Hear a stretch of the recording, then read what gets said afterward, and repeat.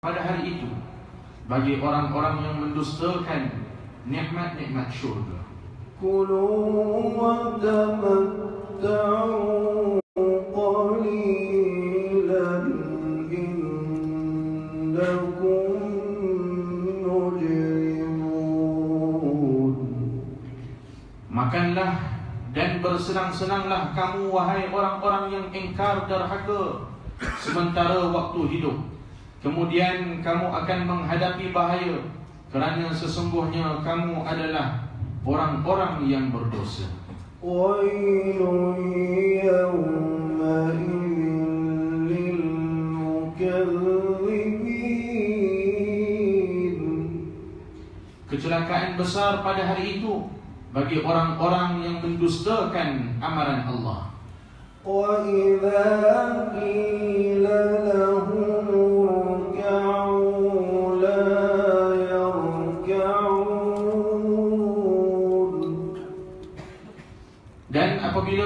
apabila dikatakan kepada mereka yakni mereka yang ingkar kepada Allah taatlah dan kerjakanlah sembahyang mereka enggan untuk mengerjakannya ويل يومئذ للمكذبين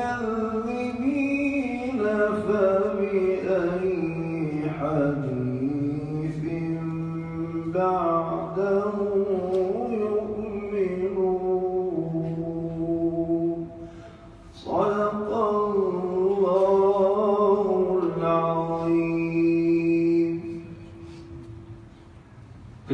Besar pada hari itu bagi orang-orang yang mendustakan perintah-perintah Allah Subhanahu wa taala dan juga larangannya.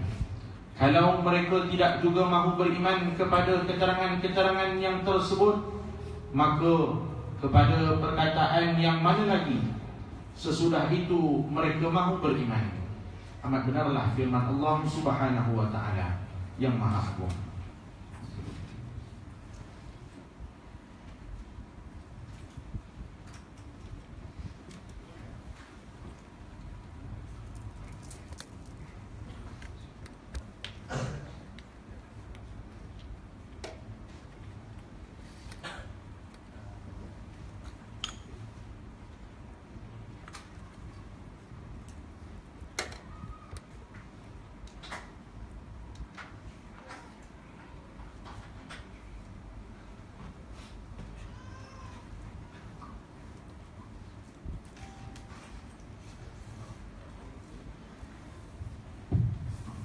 Syekh Dr. Muhammad Hashim uh, bertugas di salah satu institusi pendidikan di Jordan yang namanya Dar Ma'arij. Beliau menghabiskan masa lebih kurang 20 tahun dalam bidang uh, fatwa di salah satu uh, yayasan di Jordan yang membidangi dalam bidang uh, fatwa. Dan beliau mendapatkan PhD dalam bidang hadis uh, yang kita bertuah pada hari ini karena uh, subjek yang kita uh, adakan pada setiap hari ini adalah hadis Bukhari dan hadir bersama dengan yang tidak salah seorang yang pakar dalam bidang hadis dan juga uh, dengan PhD dalam bidang eh, uh, saya ingin mengambil peluang dengan kehadiran beliau pada majelis di Surau Putra Alami mendengarkan tausiah yang akan disampaikan oleh beliau. Fadlan Mashkuran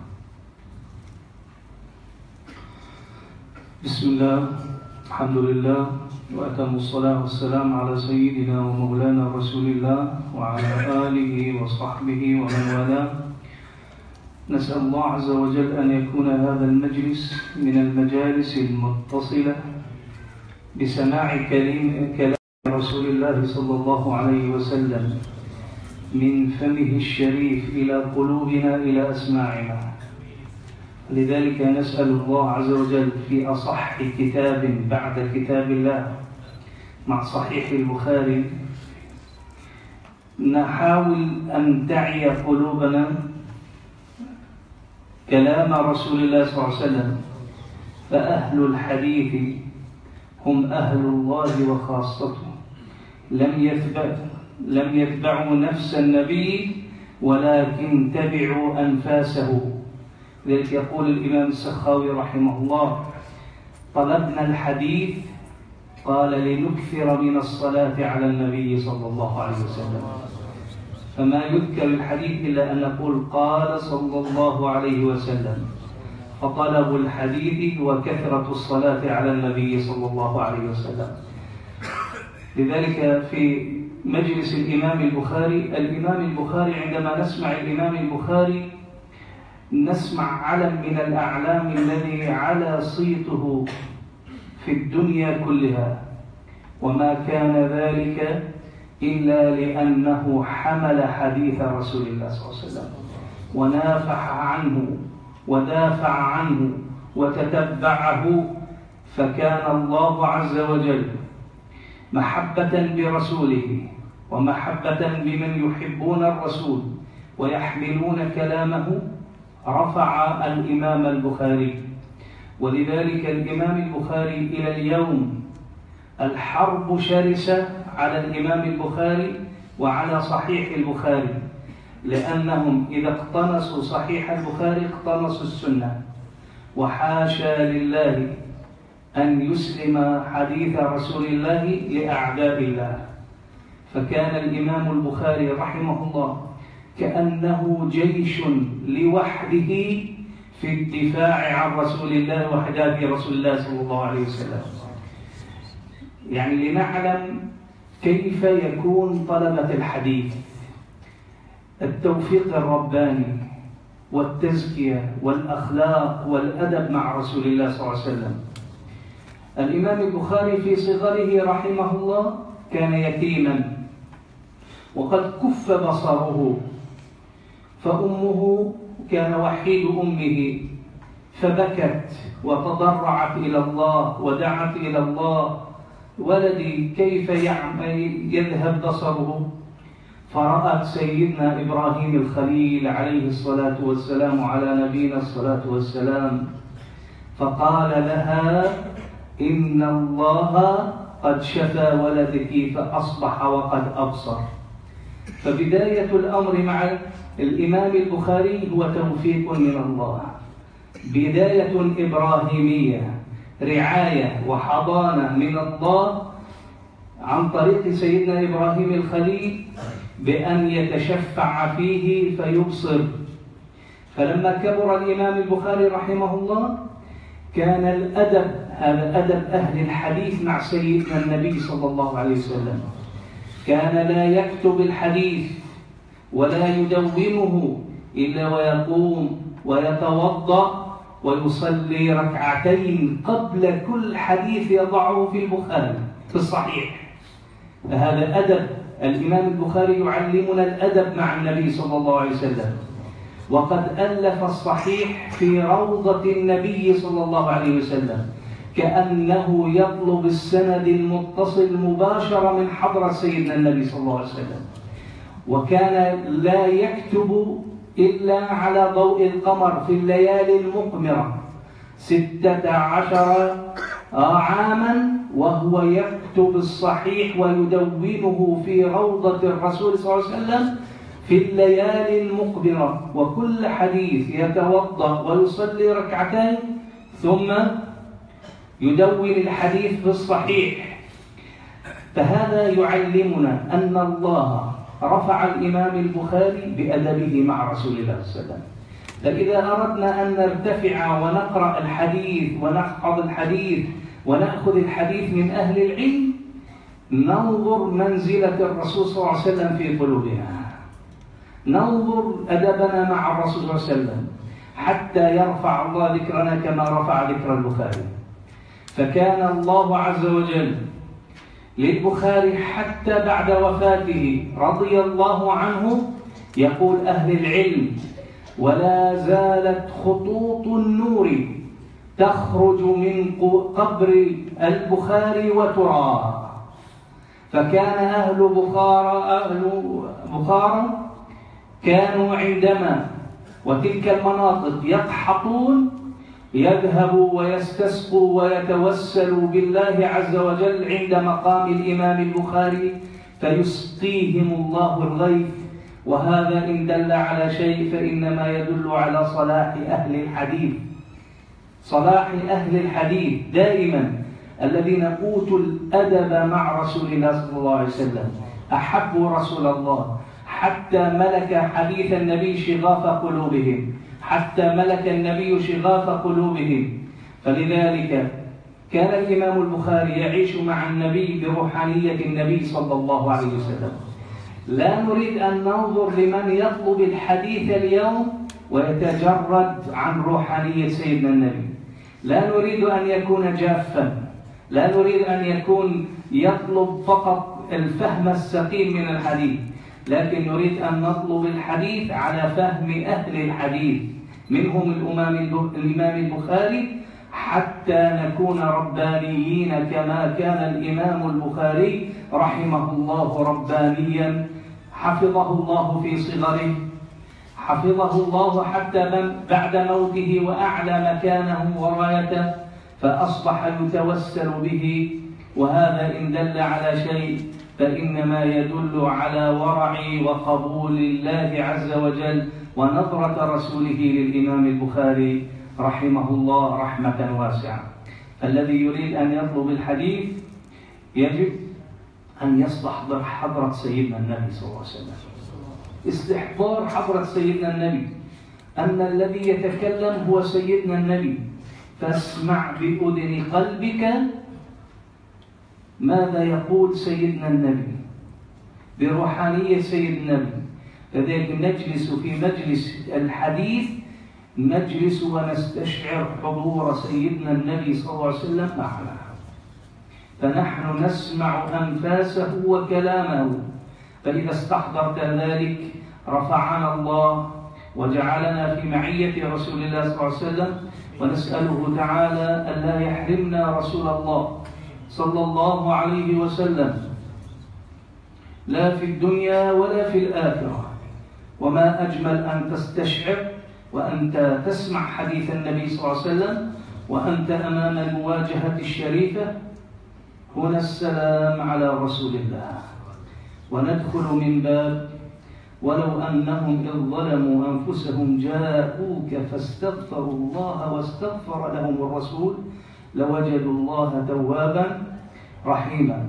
فنسأل الله عز وجل أن يكون هذا المجلس من مجالس الإمام البخاري في روضة رسول الله صلى الله عليه وسلم وأن تكون ليالينا مقمرة أن يطهرنا ظاهرا وباطنا وأن نكون على قدم سيدنا البخاري وأن نكون في شفاعة وحضانة سيدنا إبراهيم الخليل أن يجلو الله عن أبصارنا وبصيرتنا الغشاوة حتى نبصر مع حديث النبي صلى الله عليه وسلم حتى نتنور بطلعته الشريفة صلى الله عليه وسلم حتى نكون في مقام المشاهدة في أدبنا متأدبين. فلذلك يستحضر الإنسان هيبة النبي صلى الله عليه وسلم فكان مشايخنا يقول لا يمدن أحدكم رجله في المجلس فإنه لا يعرف من حضر فقد يكون من حضر رسول الله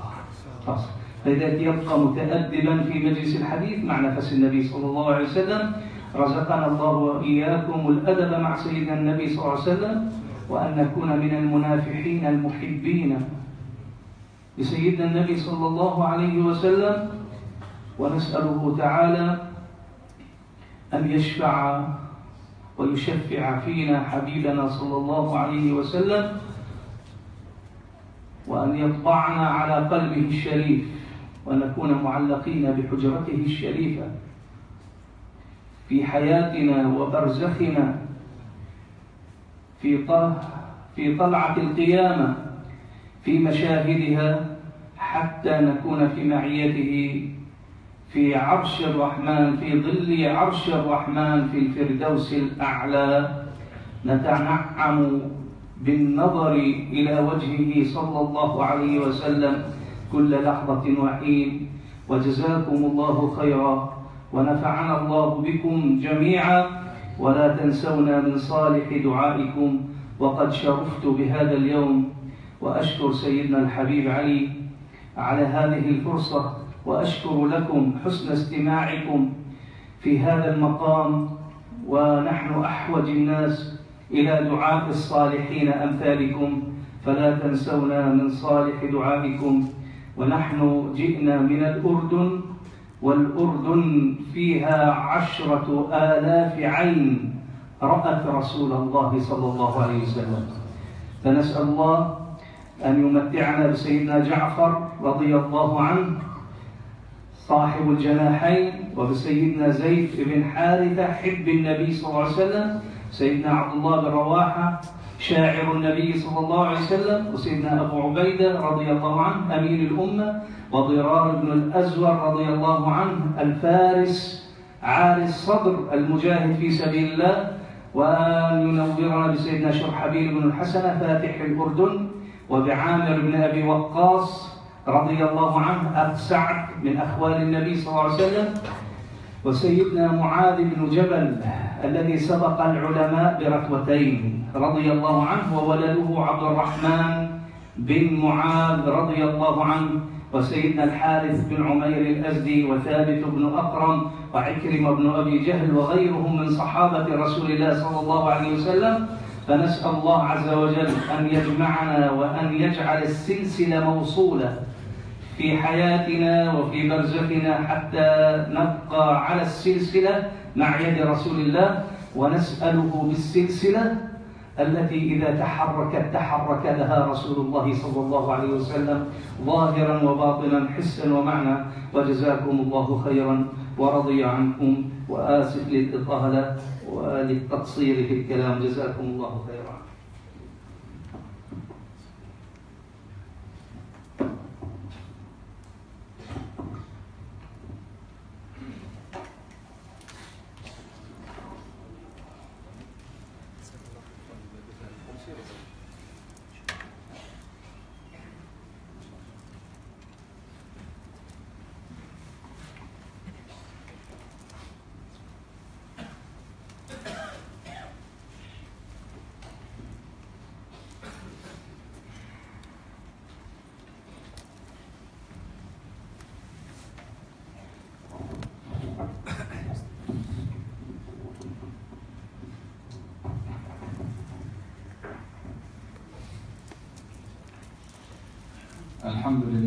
والصلاة والسلام على سيدنا وحبيبنا شفيعنا وقرة أعيننا رسول الله محمد بن عبد الله وعلى آله وصحبه ومن والاه وبعد Uh, terjemahan daripada disampaikan Syekh Dr. Muhammad Hashim sebentar tadi uh, mengatakan bahwasanya uh, nikmat yang diberikan oleh Allah Subhanahu wa taala kepada kita adalah pada hari ini kita berada dalam satu majlis yang mempunyai mata rantai yang bersambung kepada Nabi Muhammad sallallahu alaihi wasallam karena majlis ini adalah majlis dibaca di dalamnya hadis baginda Rasulullah sallallahu alaihi wasallam yang keluar daripada lisan mulia baginda Rasulullah sallallahu alaihi wasallam yang tentunya penyampaian disampaikan oleh beliau akan menyentuh kepada hati dan nurani seseorang yang mahu mendengar penyampaian baginda Rasulullah sallallahu alaihi wasallam yaitu hadis atau kumpulan hadis yang dikumpulkan oleh Al-Imam Al-Bukhari. Mereka para ulama yang memberikan perhatian kepada ilmu hadis, mereka adalah orang-orang yang hampir dengan Allah Subhanahu wa taala dan juga hampir dengan baginda Rasulullah sallallahu alaihi wasallam. Sehingga dikatakan oleh Imam As-Sakhawi mengatakan kami mencari ilmu hadis atau belajar ilmu hadis semata-mata untuk memperbanyak berselawat kepada baginda Rasulullah. Disebabkan setiap kali disebut nama Rasulullah telah bersabda Rasulullah maka sallallahu alaihi wasallam. Semata-mata belajar ilmu hadis adalah untuk berselawat kepada baginda Rasulullah sallallahu alaihi wasallam maka dengan demikian ahlul hadis itu adalah ahli salawat kepada Nabi Muhammad sallallahu alaihi wasallam. Al-Imam Al-Bukhari namanya harum, namanya indah, selalu diingati. Tidak lain dan tidak bukan disebabkan oleh kerana beliau membawa hadis baginda Rasulullah, membela hadis Rasulullah mengikuti atau mencari uh, secara hati-hati dan teliti uh, tentang hadis baginda Rasulullah Shallallahu Alaihi Wasallam. Maka sebagai tanda sayangnya Allah kepada Rasulullah, sesiapa sahaja yang memperjuangkan ilmunya Rasulullah, hadisnya Rasulullah, maka akan diangkat oleh Allah sebagai tanda sayangnya Nabi kepada atau sebagai tanda sayangnya Allah pada baginda Rasulullah, maka sesiapa yang memperjuangkan hadis Rasulullah akan diangkat derajatnya oleh Allah, termasuk Al-Imam Al-Bukhari.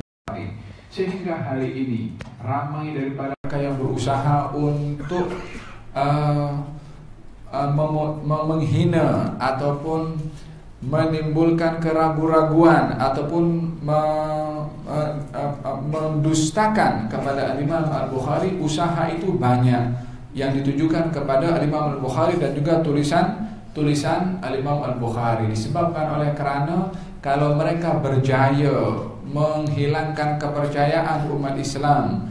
Akan hadis lebih khususnya hadis Bukhari maka akan runtuhlah kepercayaan umat Islam kepada agama Islam. Disebabkan oleh kerana hadis adalah merupakan sandaran utama umat Islam.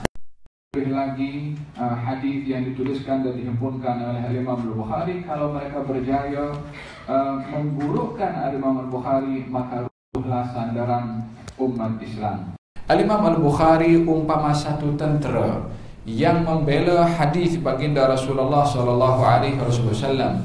Uh, beliau yang mempunyai adab yang begitu tinggi kepada baginda Rasulullah sallallahu alaihi wasallam sehingga beliau dipelihara dijaga oleh Allah Subhanahu wa taala.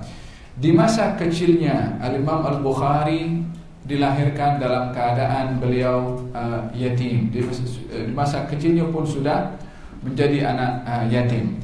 Pada masa yang sama di masa kecilnya pun juga Allah Subhanahu wa taala mengambil penglihatan Imam Al-Bukhari sehingga beliau di masa kecilnya tidak dapat melihat. Ibunya merayu mengadu kepada Allah Subhanahu wa taala menangis kepada Allah Subhanahu wa taala akan nasib anaknya yang masih kecil, yatim dan buta, apa yang akan terjadi kepada anaknya di masa akan datang. Maka rayuannya didengar oleh Allah Subhanahu wa taala sehingga satu malam itu ibunya bermimpi, di dalam mimpinya berjumpa dengan Nabi Ibrahim dan Nabi Ibrahim mengatakan kepadanya bahwasanya Allah akan menyembuhkan anakmu maka keesokan harinya tidak bangun daripada tidurnya si ibu melainkan mendapati Imam Al-Bukhari sudah pun dapat melihat disebabkan oleh kerana syafaat dan doa daripada Nabi Ibrahim kepada Allah eh, kepada Allah Subhanahu wa taala kerana doa juga si ibu untuk keselamatan dan juga kesehatan anaknya. Maka dengan demikian adanya perhatian daripada Nabi Ibrahim juga terhadap Al-Imam Al-Bukhari yang dengan uh, perantara Nabi Ibrahim Allah Subhanahu wa taala memberikan kesembuhan kepada Imam Al-Bukhari.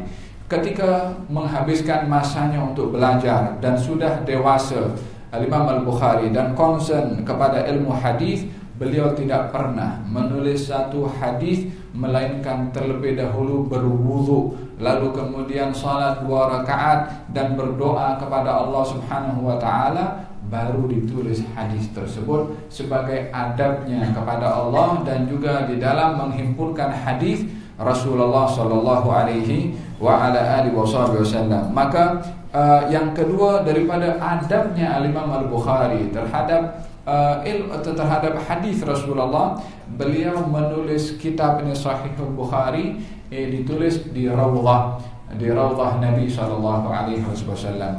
Kemudian seakan-akan beliau mengharapkan dengan menulis hadis-hadis tersebut di Raudhah berdampingan dengan tempat makam Rasulullah sallallahu alaihi wasallam mengharapkan dengan dekatnya dengan makam Rasulullah akan adanya uh, tulisan dan hadis beliau yang bersambung secara langsung kepada Nabi sallallahu alaihi wasallam. Oleh sebab itu ditulis berhampiran dan berhampiran dengan raudhah baginda Rasulullah. Dan tidak dicatat hadis-hadis itu kecuali bila mana malam itu berada dalam keadaan uh, sinar rembulan yang terang yakni bulan purnama baru ditulis daripada uh, hadis-hadis Nabi Muhammad SAW selama 16 tahun beliau mengumpulkan hadis di Raudhah baginda Rasulullah pada setiap malam dan tepatnya adalah ketika malam bulan purnama. Bila mana kita melihat hal ini, maka kita dapat menyimpulkan bagaimana Al-Imam Al-Bukhari begitu mempunyai adab kepada Allah, mempunyai adab kepada Rasulullah sehingga dengannya darjat beliau diangkat oleh Allah Subhanahu wa taala. Dengan demikian, bila mana kita ingin diangkat darjat kita oleh Allah Subhanahu wa taala, maka hendaklah kita mempunyai adab kepada Allah dan juga kepada baginda Rasulullah sallallahu alaihi wa ala alihi wasallam. Di antara kejadian yang terjadi kepada Imam Al-Bukhari dan juga manfaat ilmu yang uh, dicatat oleh beliau dan uh, dan kehebatan Imam Al-Bukhari sehingga setelah wafatnya Imam Al-Bukhari masih dilihat kesan-kesan cahaya daripada kubur Imam Al-Bukhari di mana ahli Bukhara berziarah ke kubur Imam Al-Bukhari dan berdoa kepada Allah Subhanahu wa taala uh, untuk diturunkan hujan dan diturunkan hujan oleh Allah Subhanahu wa taala. Ini menunjukkan akan kedudukan ahli hadis yang cintakan kepada Nabi sallallahu alaihi wasallam dan uh, Imam Al-Bukhari seakan-akan hari-harinya hidup bersama dengan Rasulullah disebabkan oleh kerana perhatian beliau akan hadis-hadis Nabi Muhammad sallallahu alaihi wasallam. Kita tidak mahu menjadi orang yang belajar ilmu hadis akan tetapi tidak punya adab kepada hadis dan kepada orang yang menyampaikan hadis tersebut. Kita tidak mahu untuk belajar hadis untuk mencacatkan atau mengolok-olokkan kepada orang lain kita ingin belajar hadis adalah ingin belajar adab kepada Allah dan juga kepada Rasulullah seperti Al-Imam uh, Al-Bukhari.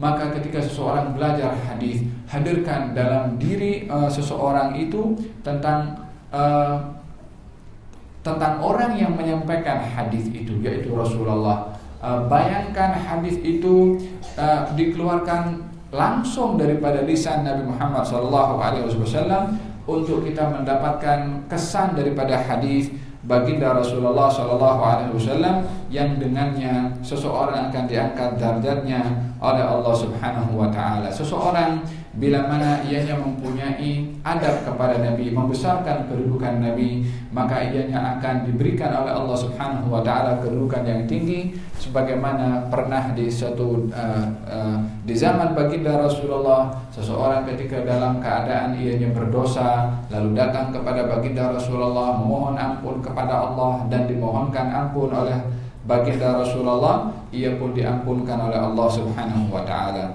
maka kita uh, mengharapkan dalam majlis uh, mengkaji ilmu hadis Imam Bukhari pada malam hari ini yang mana uh, tulisan Imam Bukhari dicatat atau dihimpulkan di Raudhah Nabi di malam-malam yang uh, terang uh, kita dan juga uh, beliau Imam Bukhari yang mendapat riayah atau perhatian daripada Sayyidina Ibrahim yang dengan sebab doa daripada beliau pandangannya dikembalikan oleh Allah Subhanahu wa taala.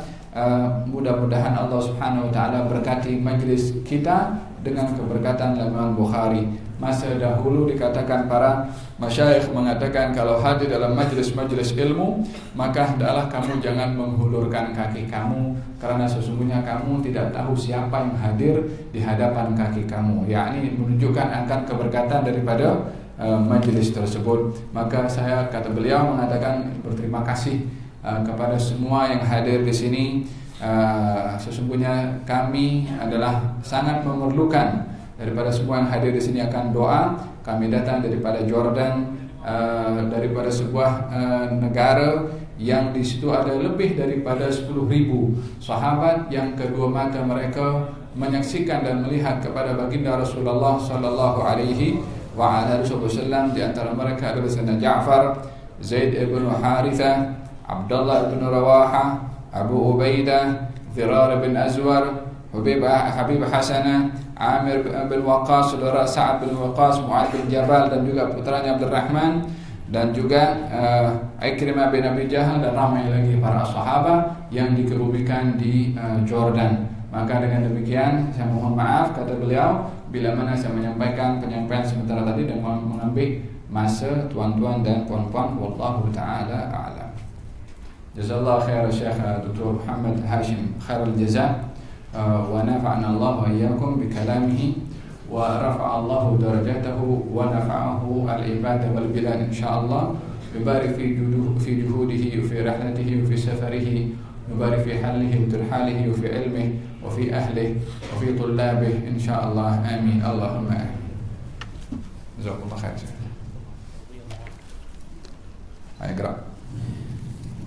كتاب ringkasan Sahih Bukhari ونفعنا به وبعلومه في الدارين. آمين. اللهم آمين. Bab yang ke-31 Bab sujud ada sab'atin azam Tujuh bahagian tubuh yang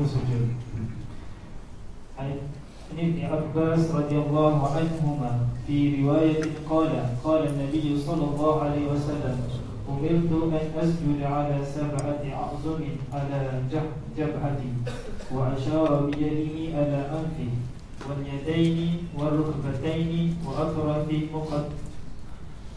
وأطراف القدمين ولا نطفك الثياب وشعرا. Diriwayatkan dari Ibn Abbas radhiyallahu anhu. Nabi Muhammad sallallahu alaihi wasallam pernah bersabda kami diperintahkan untuk bersujud di atas tujuh bahagian tubuh tulang iaitu kening bersama dengan hujung hidung kedua telapak tangan kedua lutut dan jari jemari kedua telapak kaki dan tidak boleh tertutup rambut dan pakaian. Nah, Bab yang ke-32 Bab mukti baina sajdatain Duduk di antara dua sujud. An Anas radhiyallahu anhu qala Inni la adu an usalliya bikum kama ra'aitu an-nabiy sallallahu alaihi wasallam wa baqi hadith taqaddam. Diriwayatkan dari Thabit Anas radhiyallahu anhu berkata Aku akan berusaha sekuat tenaga mencontohkan kepada kalian solat Nabi sallallahu alaihi wasallam sebagaimana aku melihat Nabi Muhammad sallallahu alaihi wasallam melakukan hal itu kepada kami. Sebagian hadis ini telah disinggung di muka di hadis nombor 461. Bab ke-33. Bab la yaftariju dhira'aihi fi sujud. Tidak meletakkan dengan bahagian bawah ke atas menjauhkan dari tanah ketika sujud. Abu Humad berkata Nabi Muhammad sallallahu alaihi wasallam sujud dengan meletakkan telapak tangannya di atas tanah dan menjauhkan lengan bawahnya dari tanah dan tubuhnya. Wa anhu radhiyallahu anhu anna Nabi sallallahu alaihi wasallam qala a'tadilu fi sujud. A'tadilu. A'tadilu. A'tadilu fi sujud wala yab wala yabsut ahadukum dira'aihim bisaqal kalbi. Diriwayatkan dari Anas bin Malik radhiyallahu anhu Nabi Muhammad sallallahu alaihi wasallam pernah bersabda Luruslah dalam bersujud dan janganlah kalian meletakkan lengan di bawah di atas tanah selama sujud seperti seekor anjing. بسم الله الرحمن الرحيم نوينا التعلم والتعليم والتذكر والتذكير والنفع والانتفاع والإفادة والاستفادة والحث على التمسك بكتاب الله وسنة نبيه والدلالة إلى الخير والدعاء إلى الهدى ابتغاء مرضات الله وقربه وثوابه. آمين. اللهم آمين. السجود على سبعة أعظم. باب tentang sujud dengan tujuh tulang apa itu sujud? Sujud secara bahasa adalah yakni orang yang dia menundukkan kepalanya uh, karena mengagungkan kepada Allah Subhanahu wa taala. Wada'ul jabhati 'ala al-ardi ala wajhil khudu' wal khushu'. Meletakkan dahi ke tanah dalam keadaan dirinya menghadirkan pengagungan Allah dan merendahkan dirinya di hadapan Allah Subhanahu wa taala. Hada sujud. Bukan hanya seseorang meletakkan dahi ke tanah tanpa ada merasakan pengagungan kepada Allah ketika meletakkan dahinya ke tanah. Jadi di sini ada dua tuntutan kepada sujud. tuntutan yang pertama, tuntutan tubuh badan. Apa itu? Dahi letak ke tanah. Tuntutan yang kedua adalah wajhul khudu'. Ini perbuatan hati. Kita perlu ketika sujud menunjukkan kita hina. Macam mana kita tundukkan kepala kita untuk menghinakan itu yang perlu kita rasa ketika kita uh, sujud uh, menghinakan diri kepada Allah Subhanahu wa taala.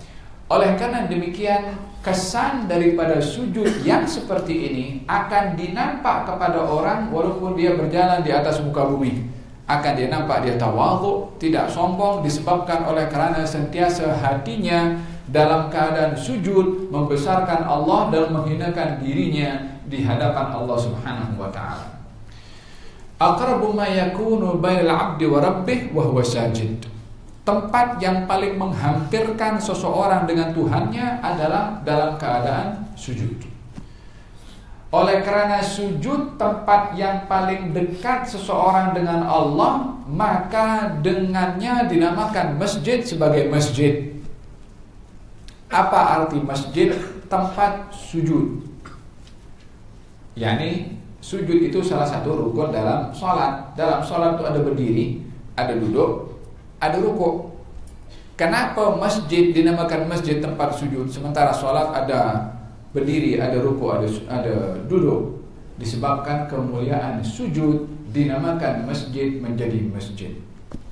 Faham tak? Maka dengan demikian sujud adalah meletakkan dahi ke tanah ala wajhil khusyu' wal khudu' yakni dalam keadaan kita membesarkan Allah Subhanahu wa taala dan menghinakan diri di hadapan Allah Subhanahu wa taala.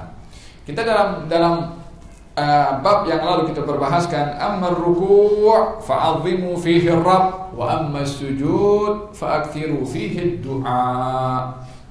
Dalam ruku' kita agungkan Allah. Dalam sujud kita banyak berdoa merayu kepada Allah subhanahu wa ta'ala. Dan dalam hal ini berbicara tentang masalah sujud maka adalah satu perbuatan yang paling dimuliakan oleh Allah subhanahu wa ta'ala Uh, di dalam uh, ibadah seseorang kepada Allah.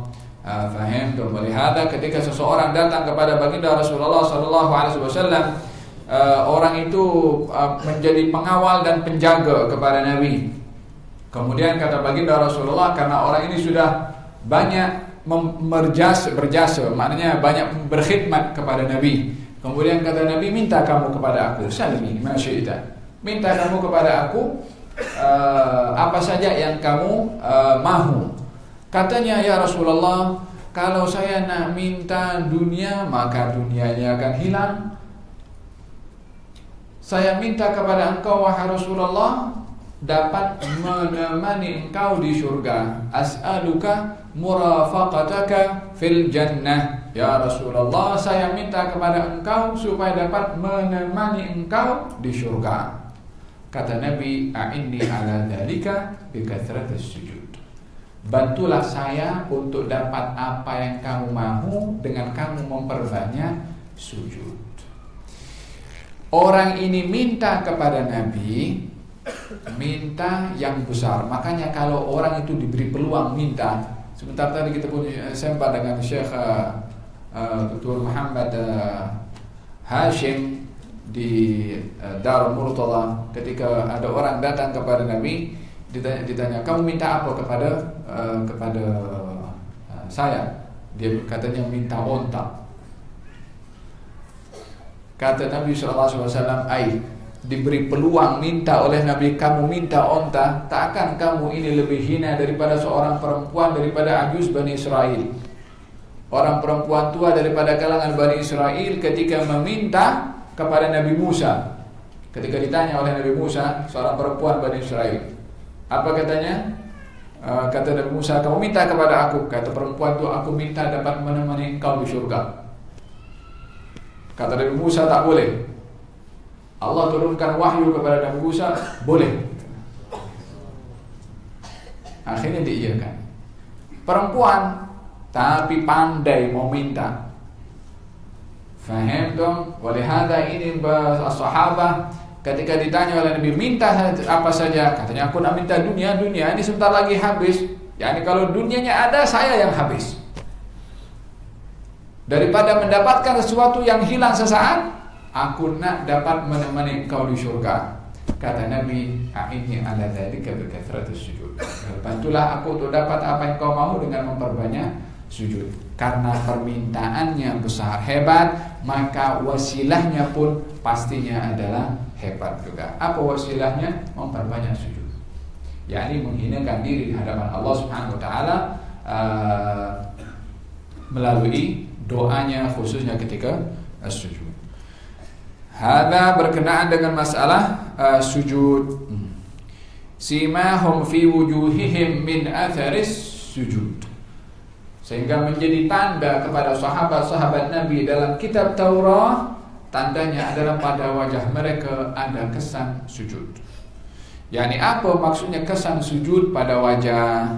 Apa maksudnya? Ianya bukan ada satu tanda khusus kepada wajah, baik itu kepada dahi ataupun kepada hidung atau kepada tidak.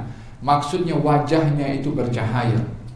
Wajahnya ada dinampak wajah orang-orang saleh melalui uh, sujudnya sentiasa kepada Allah Subhanahu wa taala. Faham tu? Walihara simahum fi wujuhihim. Tanda mereka itu dinampak pada wajahnya kesan daripada sujud kesan daripada sujud yang sujud ini letaknya adalah dahi tapi dinampak kesannya pada wajah maksudnya adalah wajahnya bercahaya bukan ada tanda pada bahagian uh, sujud faham dong uh, walihada di, di, di, dibezakan kesan sujud pada wajah itu uh, bercahayanya wajah bukan kesan secara zahir pada wajah. Karena kesan secara zahir kepada wajah boleh dikongsi dengan beberapa orang juga yang pernah melakukan sujud dan ada tanda pada wajahnya. Ini bukan singgung sesiapa ya, bukan singgung sesiapa. Tapi untuk memastikan kesan sujud adalah di hati. Salah seorang bernama Dhul Khwaisar yang kalau salat sujudnya luar biasa. Akan tetapi tidak dihayati kesan sujud di dalam hati. Walaupun banyak dalam ibadahnya, tapi beliau termasuk daripada orang-orang yang uh, menuduh kepada Nabi bahwasanya Nabi tidak adil dalam cara pengagihan harta rampasan perang. Walaupun banyak salat. Walaupun banyak sujud.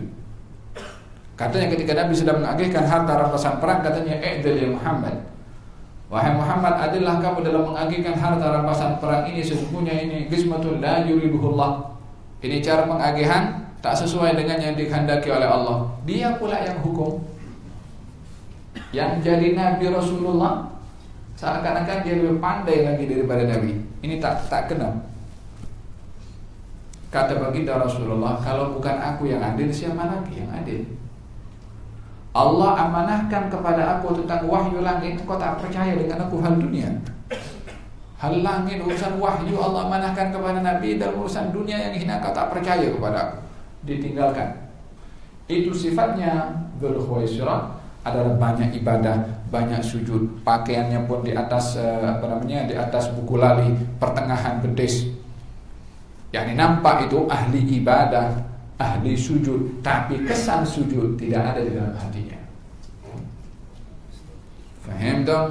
Hada menunjukkan bagaimana hakikat sujud bukan hanya terhad kepada makna zahir sebagaimana dalam mukaddimah saya katakan tapi perasaan di dalam menghinakan diri di hadapan Allah Subhanahu wa taala.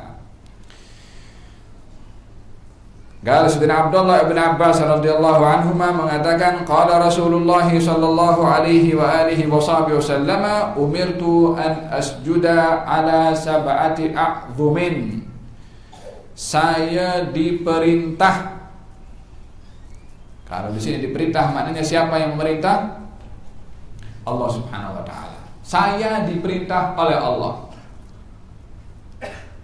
Subhanallah. Walaupun berdiri pun diperintah oleh Allah, rukuk pun diperintah oleh Allah, tapi secara khusus masalah sujud karena kedudukan daripada sujud sebagaimana saya ketengahkan dalam mukaddimah tadi. Umirtu an asjuda ala sab'ati a'zum. Saya diperintah oleh Allah untuk sujud dengan tujuh tulang. Yang pertama adalah jabhah. Dahi. Dan dahi ini adalah daripada ujung tulang sini sampai ujung tulang sini ini dahi. Terkadang seseorang kalau ada dia punya apa luka sebelah sini, uh, dia boleh sujud dengan dahi sebelah sini. Tapi bukan dengan sini, sini bukan bukan sudah bukan dahi, nah, dahi di sini. Faham dong? Kemudian dahi itu daripada tempat di atas uh, apa namanya? Apa nih? Bulu kening sampai ke tempat tumbuhnya rambut uh, bahagian uh, pertama awal tumbuhnya rambut. Kalau yang tak punya rambut dikiaskan. Sehingga tidak diperbolehkan orang sujud baik yang ada rambut atau yang tak ada rambut dengan kepalanya. Kadang-kadang orang sujud dia punya kepala macam tu. Tak wakul jabhah meletakkan dahi ini yang kena mesti diletakkan bukan di sini. Sehingga kalau yang letak di tanah itu adalah kepala bukan dahi, maka tidak sah dia punya sujud. Karena yang diletakkan adalah al-jabhah dahi. Kemudian wa asyara biyadihi ala anfih. Nabi mengisyaratkan tangannya pada hidungnya. yang dikatakan dahi tapi yang disentuh hidung. Maksudnya disentuh dahi dan hidung. Di sini menjadi perbezaan ulama. Adakah hidung termasuk daripada bahagian anggota wajib dalam sujud bermakna juz'un minal jabhah, yakni bahagian daripada dahi atau dia uh, uh, hidung ini anggota yang berasingan daripada dahi. Dalam mazhab Imam Syafi'i mengatakan kalau hidung bukan bahagian daripada dahi. Tetapi sunnah untuk menyentuh hidung ini kepada tanah bila mana kita berada dalam keadaan sujud. Bagi madhab yang lain, saya tidak ingat madhab siapa, uh, hidung ini bahagian daripada uh, dahi sehingga kalau tidak disentuhkan hidung ini ke tanah tidak sah sujudnya berdasarkan dengan zahir hadis ini yang Nabi menyentuh kepada hidung seakan-akan memberitahukan hidung bahagian daripada dahi. Khurujan minal khilaf untuk kita terlepas daripada perbezaan ulama yang mengatakan hidung bahagian daripada dahi atau hidung bukan bahagian daripada dahi walaupun dalam mazhab kita Syafi'i bukan tetapi melepaskan diri daripada perbezaan ulama tentang sah dan tidaknya sujud yang terkait dengan hidung bila mana kita sujud hendaklah hidung ini menyentuh kepada tanah wal yadain kedua tangan. Kedua tangan di sini maksudnya adalah uh, kedua telapak tangan. Supaya tak ada orang sujud macam ni. Digenggamkan tangannya. Atau balik macam ni. Kemudian warrukbadain dua lutut. Faham dong? Supaya tak ada seseorang angkat lututnya satu ketika uh, sujud. Yang terakhir adalah wa atrafil qadamain. Dan uh, jari jemari kaki bahagian batin. Kalau ini kaki maaf, uh, kalau ini kaki, ini kuku sini, Nah, sujud itu bahagian daging kepada kaki sini. Maka dengan demikian seseorang kalau sujud um, Ibu jari kaki ada kuku panjang dan dia sujud di atas kukunya. Maka dalam hal ini jari jemari tak tersentuh kepada tanah. Boleh menjadi tidak sah sujudnya disebabkan oleh kerana sujud mesti dengan tujuh tulang di antaranya adalah jari-jari kaki. Kalau tidak dilakukan dengan tujuh tulang tidak sah sujudnya. Kalau tidak sah sujudnya, tidak sah salatnya karena sujud bahagian daripada rukun salat. Kadang-kadang orang salat dinampak apa namanya masa sujud, khususnya kalau daripada duduk, duduk daripada tahiyat, ah, duduk daripada ah, di antara dua sujud, nak sujud balik, sujud yang kedua. Posisi kaki itu ah, berada di tengah-tengah atau di telapak kaki.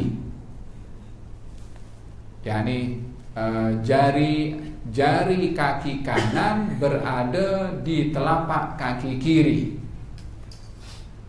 Sementara jari jari kaki kiri uh, menyentuh tanah lah, tapi jari-jari kanan tidak. Posisinya macam macam posisi dalam keadaan duduk. Tak sah dia punya sujud. Kadang-kadang orang sujud diangkat kakinya. Apa pasal kaki diangkat? Time sujud diletakkan kaki ke tanah Yang nak diangkat untuk apa? Tak ada sebab sama sekali pun se, uh, Apa takut kotor Memang sudah duduk di atas uh, tempat situ Falhasil dalam hal ini tak boleh orang mengatakan tak tahu. Hidup di tempat yang ramai ustaz mengajar perkara yang wajib dilakukan keseharian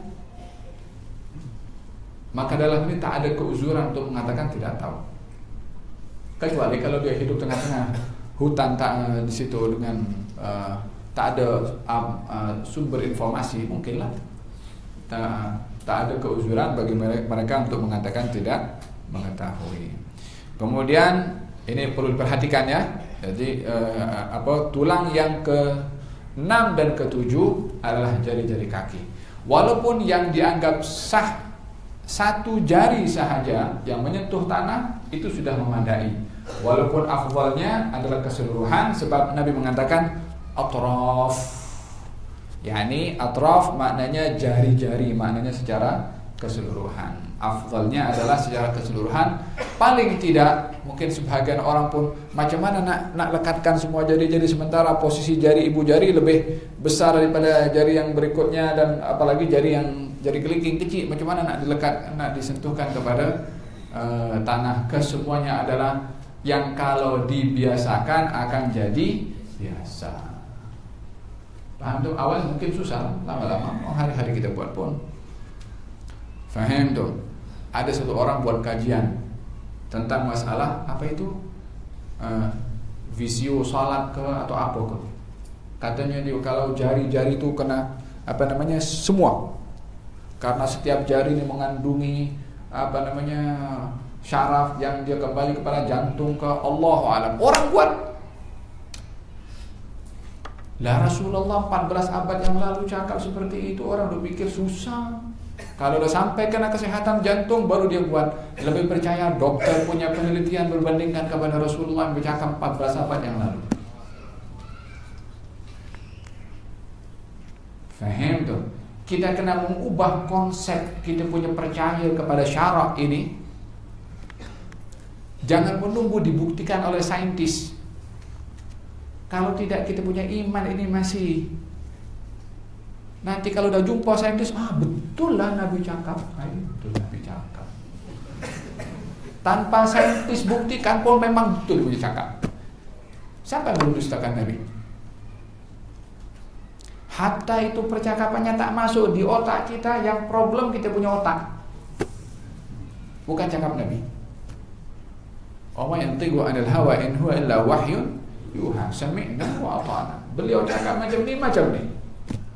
Hatta satu dunia kata tidak. Rasulullah kata ya, kita kata ya. Faham dong?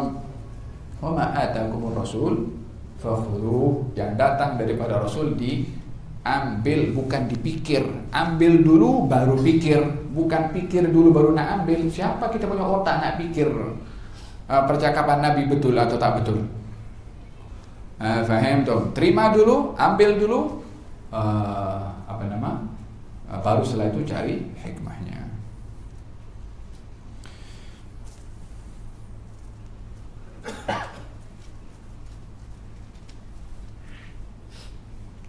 Faham dong?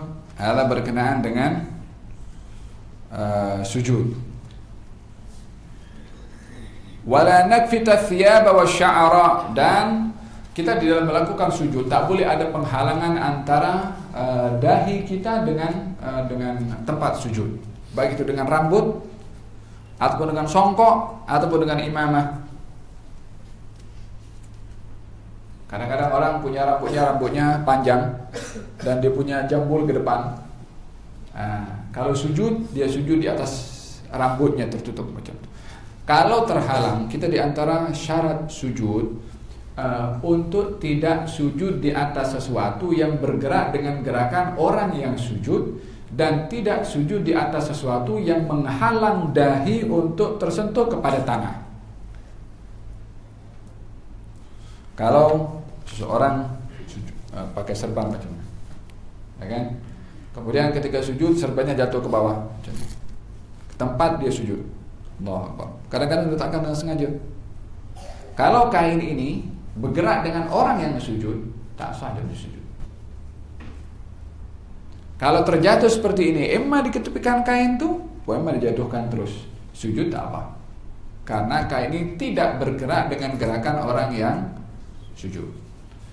Tidak sujud di atas Allah yasjuda ala syai'in yataharraku biharakatih. Tidak sujud di atas sesuatu yang bergerak dengan gerakan orang yang sholat.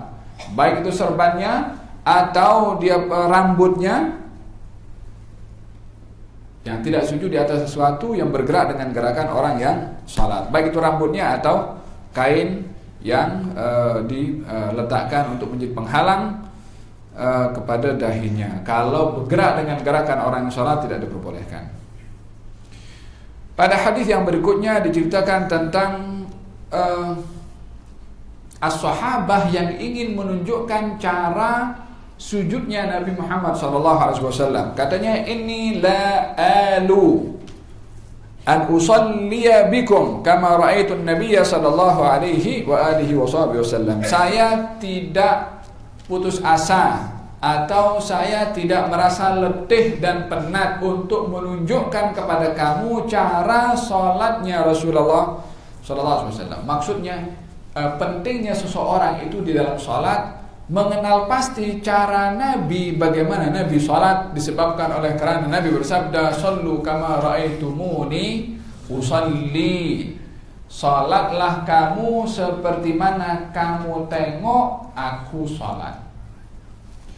Kata ahli hadis mengatakan nasib baik Nabi mengatakan salatlah kamu seperti mana kamu tengok. Nabi tidak mengatakan salatlah kamu seperti mana aku salat. Kalau Nabi mengatakan salatlah kamu seperti mana aku salat, tak ada orang yang sanggup untuk salat sebiji macam Nabi wasallam. Tapi seperti mana kamu tengok, maka masing-masing melihat daripada kapasiti macam mana mereka tengok.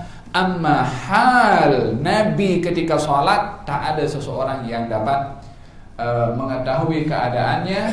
Baginda Rasulullah Shallallahu Alaihi Wasallam ketika bersama dengan Allah di dalam sholatnya. Fil Bukhari dinyatakan baginda Rasulullah satu hari salat kemudian baginda Rasulullah maju ke depan dan seakan-akan tangannya menggerak, menggerak ke depan untuk mengambil sesuatu kemudian setelah itu baginda Rasulullah berundur ke belakang sehingga badan beliau menghampiri kepada sof yang pertama sof yang pertama pun berundur ke belakang juga khawatir ada perubahan wahyu atau apa yang sedang terjadi kepada Nabi maka Nabi maju lagi ke depan. Lalu kemudian Nabi menyambung salatnya Sampai selesai salam. Katanya sebentar tadi dibuka oleh Allah hijab Dan aku nampak surga di hadapan aku. Dan aku nampak indahnya pokok-pokok yang rindang. Dan aku nampak buah-buahan dan aku ingin mengambilnya buah itu untuk ditunjukkan yang kalau diambil waktu itu itu buah-buahan akan kekal wujud sampai hari kiamat karena buah-buahan di surga tak akan sirna.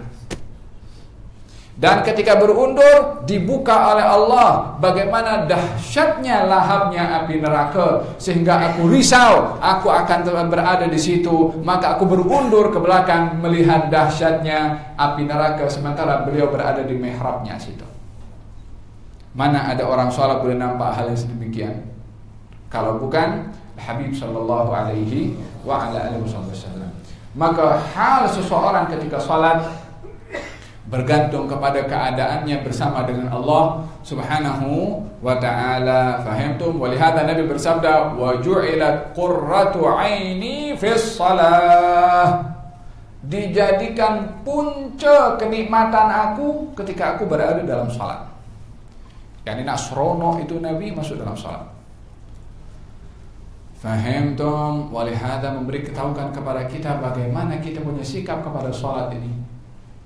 Kadang-kadang bila mana dikumandangkan azan, ah, dah masuk waktu dah. Macam macam susah hati kalau masuk waktu salat. Patutnya seronok nak salat menghadap kepada Allah Subhanahu wa taala. Walihada sahabat ingin menunjukkan bagaimana mereka uh, yang salat di belakang baginda Rasulullah ingin menunjukkan kepada orang lain.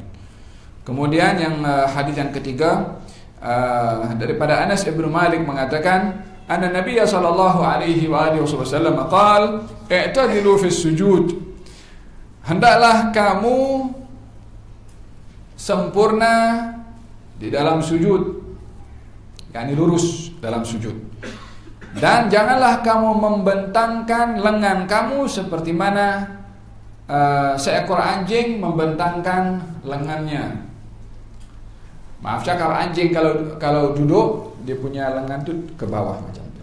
Ya kan? Kalau duduk.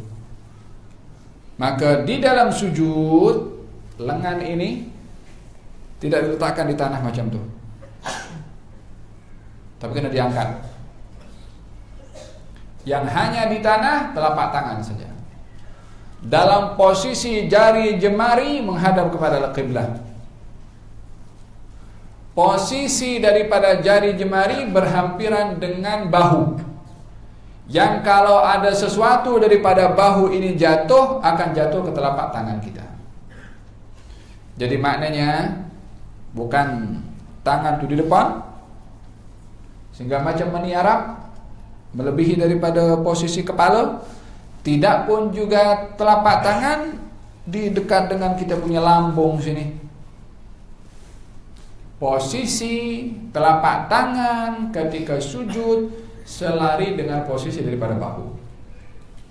Seakan-akan kalau ada sesuatu jatuh daripada bahu, jatuh ke tangan kita.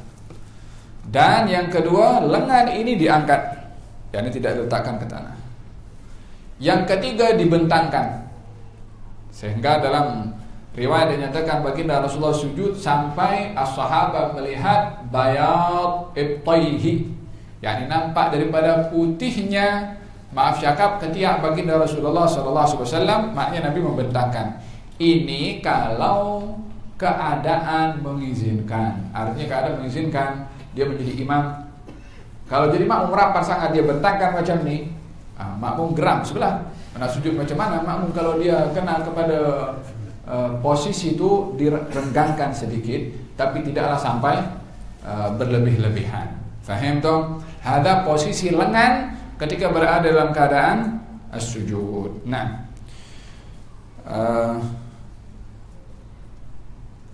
bagi perempuan uh, posisi lengan diangkat juga tapi tidak dibentangkan seperti laki-laki, tapi dirapatkan.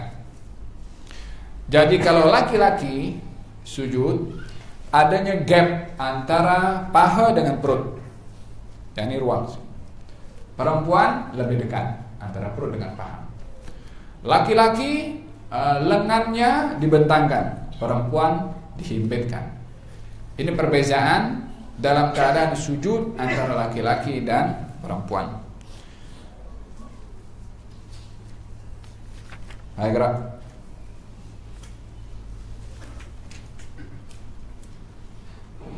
Bab ke-34 Bab Man istawa qa'idan fi witrin Min salatin summa nahadha Duduk tegak dan bangkit dalam salat witir Salat dengan rakaat ganjil An Maliki bin Huwairith radhiyallahu anhu annahu ra'a an-nabiy sallallahu alaihi wasallam yusalli fa idza kana fi witrin min salatihi lam yanhad hatta yastawiya qa'idan diriwayatkan dari Malik bin Huwairith Al-Laythi radhiyallahu anhu Aku pernah melihat Rasulullah sallallahu alaihi wasallam mengerjakan solat dengan rakaat yang ganjil dan duduk untuk sementara waktu sebelum bangkit. Nah, hadis membicarakan tentang uh, keadaan seseorang dalam satu salat boleh berdiri dan boleh duduk dalam satu masa. Boleh berdiri, boleh duduk dalam satu masa. Perlu disedari bahwasanya berdiri ketika salat fardu hukumnya rukun, wajib. Tidak sah seseorang untuk sholat duduk dalam sholat wajib kalau dia mampu berdiri. Akan tetapi dalam sholat sunnah, hukum berdirinya adalah sunnah. Maka orang yang sholat sunnah melakukannya dalam keadaan duduk Sah sholatnya walaupun dia mampu berdiri Hanya ganjarannya orang sholat berdiri dalam sholat sunnah Full kalau dilakukannya dalam keadaan duduk ganjarannya separuh Ini bagi mereka yang mampu berdiri tapi sholat duduk dalam sholat sunnah Ganjarannya separuh daripada sholat orang yang berdiri. Demikian fil hadis dinyatakan salat orang duduk separuh da, berbandingkan kepada orang salat dalam keadaan berdiri di dalam salat sunnah bukan dalam salat fardu. Faham dong? Uh, akan tetapi orang yang sholat duduk dalam sholat sunnah Orang yang sholat duduk dalam sholat sunnah Karena tak mampu berdiri Jadi tak boleh lama berdiri maka ganjarannya sama dengan orang yang sholat dalam keadaan berdiri karena uh, tidak berdirinya disebabkan karena tidak mampu. Faham dong? Ada berkenaan dengan perbezaan sholat berdiri bagi uh, sholat fardu ataupun dengan sholat sunnah. Bolehkah seseorang dalam sholat fardu atau dalam sholat sunnah pada masa yang sama berdiri dan duduk? Al-Imam uh, dalam Sahih Muslim juga dinyatakan bahwasanya baginda Rasulullah Shallallahu Alaihi Wasallam sholat malam. Ketika beliau takbir, maka beliau akan pergi duduk setelah takbir. Dalam bacaan yang dibaca oleh Nabi, kata Siti Aisyah, lama badana Rasulullah. Ketika baginda Rasulullah badannya mulai berat, maka Nabi Sholatnya sholat duduk. Perlu difahami kalimat badana Kalimat baginda Rasulullah mulai berat badannya Bukan dilihat karena beliau gemuk Tapi dilihat daripada beratnya tanggung jawab Nabi memikul amanah dan wahyu dari Allah Menyebabkan badan Nabi menjadi lemah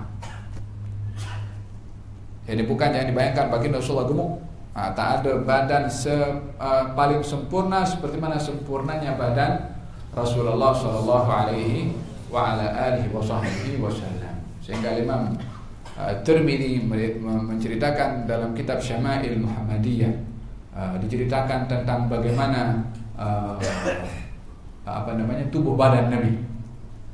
Bagaimana wajahnya, bagaimana bulu keningnya, bagaimana pipinya, bagaimana bibirnya, bagaimana giginya, bagaimana janggutnya, kemudian bagaimana telapak tangannya, bagaimana telapak kakinya. Falhasil sempurna disifatkan oleh as-sahabah tentang sifat fisikal baginda Rasulullah Shallallahu Alaihi Wasallam. maksud di sini karena beban tanggung jawab amanah yang berat dari Allah Subhanahu Wa Taala menyebabkan badan beliau adalah uh, lemah. Uh, ketika dalam uh, badan beliau sudah mulai lemah pun usia beliau mulai lanjut, baginda Rasulullah uh, banyak melakukan sholat tahajud, sholat malamnya dalam keadaan duduk.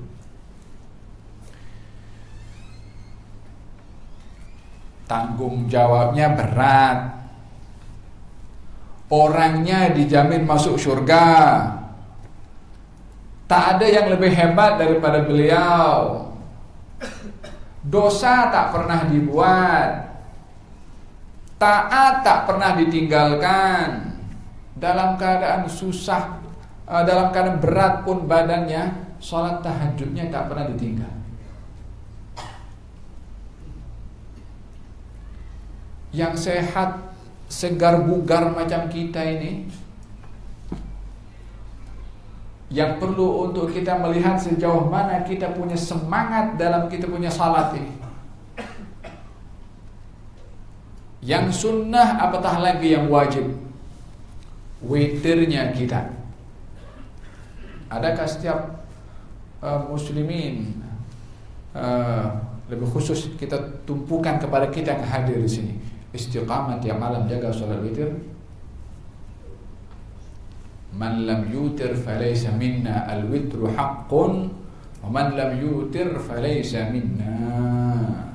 Witir itu satu kemestian yang tak sholat witir bukan golongan daripada kami kata Nabi sallallahu alaihi wasallam Nah, yang sehingga dalam satu hari baginda Rasulullah salat setelah takbiratul ihram Nabi duduk baca Al-Qur'anul Karim.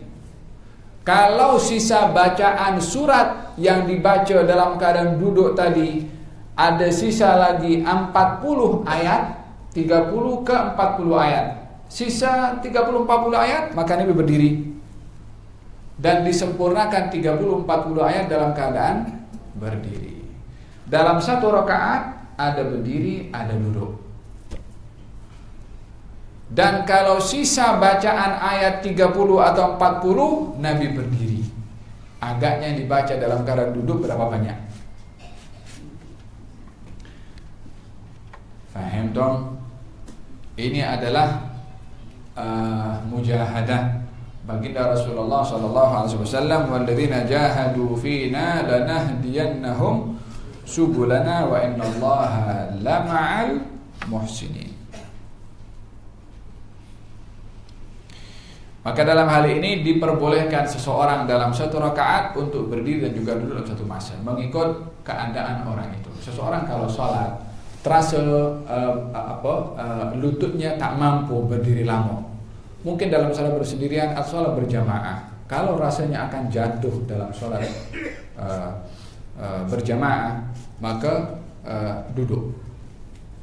Uh, katalah imam sholat isya pada sholat subuh dia baca surat al-baqarah. Tapi bukan imam bukan imam sinilah imam Maka dalam hal ini dia nak antara dua lah kalau berpisah mufarakah terpulang lah. Kalau dia kekal dengan imam mampu berdiri ya dia akan berdiri. Tidak mampu maka dia duduk. Nah, biasanya sholat yang digalakkan untuk dibaca panjang itu sholat gerhana. Sholat gerhana bacaan surahnya panjang. Nah, rukuknya pun panjang. Hmm, tenang. Fa'ala kulli hal diperbolehkan dalam satu rakaat untuk berdiri dan juga duduk mengikut keadaan, mengikut keperluan, khususnya dalam sholat fardu, khususnya dalam sholat fardu diperbolehkan untuk mengambil keringanan setakat keperluan. Dalam hadis ini dinyatakan bahwasanya baginda Rasulullah Shallallahu Alaihi Wasallam bila mana pada sholat witirnya uh, tidak berdiri melainkan terlebih dahulu didahului dengan duduk. yakni sholatnya dalam keadaan uh, dilakukan dalam keadaan duduk. Bila mana hendak melakukan ruko dan seterusnya, Nabi akan pergi berdiri. Kemudian ruko, i'tidal dan seterusnya dilakukan seperti biasa. Gerak. Bab yukabbiru wa huwa Bab 35 Mengucapkan takbir ketika bangkit dari dua sujud. An Abi Sa'id An Abi Sa'id Khudri Al-Khudri Al-Khudri. An Abi Sa'id Al-Khudri radhiyallahu anhu annahu صلى fajara bit takbir hina fajara fajara فجحر بالتكبير حين رفع رأسه من السجود وحين سجد وحين رفع وحين قام من الرقتين وقال هكذا رأيت النبي صلى الله عليه وسلم. رواية النبي سعيد بن الحارث أبو سعيد الخدري رضي الله عنه ومن كمي ومن صلاة dan mengucapkan takbir dengan suara keras ketika bangkit dari sujud. Ketika sujud, ketika bangkit lagi dan ketika bangun dari rakaat yang kedua. Abu Sa'id berkata, aku melihat Rasulullah sallallahu alaihi wasallam melakukan hal yang sama. Aywa. Hadis terakhir berbicara berkenaan dengan uh, takbir perpindahan, takbirul intiqal. Perpindahan daripada satu rukun kepada rukun yang lain. Sebagaimana dalam kelas yang lalu saya perbahaskan juga perpindahan daripada rukun kepada rukun yang lain adalah dengan takbir kecuali ketika bangkit daripada uh, ruku. Bangkit daripada ruku um, mengucapkan sami Allahu liman hamidah. Kesimpulannya adalah uh, setiap perpindahan daripada rukun ke rukun adalah dengan takbir. Dalam hal ini Baginda Rasulullah sallallahu alaihi wasallam shalla fajahara bit takbir. Nabi mengeraskan sebutan takbir ketika bangkit uh, ketika bangkit daripada sujud dan ketika sujud dan ketika bangkit daripada sujud untuk duduk ketika bangkit daripada sujud untuk berdiri ini perpindahan daripada satu keadaan-keadaan eh, daripada satu rukun kepada rukun dengan apa namanya takbir. Takbir terbagi kepada dua bahagian. Ada takbir wajib dan ada takbir namanya sunnah atau takbir intiqal.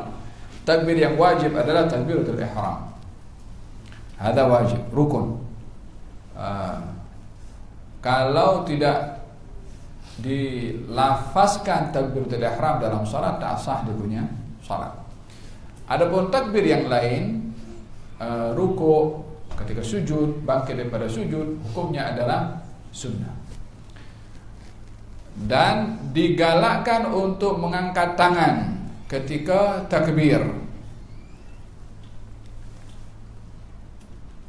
dan juga ketika bangkit daripada ruku. Kita ada empat tempat digalakkan angkat tangan. Yang pertama ketika takbiratul ihram takbirnya wajib, angkat tangannya sunnah. Ketika ruku, takbirnya sunnah, angkat tangannya pun juga sunnah. Ketika bangkit daripada ruku, uh, ucapan sami Allahnya pun sunnah, angkat tangannya pun juga sunnah. Ada berapa? Tiga. Yang terakhir adalah ketika bangkit daripada tahiyat yang pertama, tasyahud awal pun digalakkan untuk mengangkat tangan.